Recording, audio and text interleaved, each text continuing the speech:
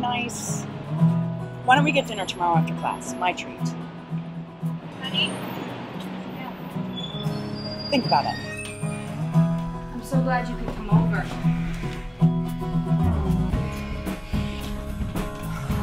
Were you just trying to run past me and avoid me? No. Maybe a little.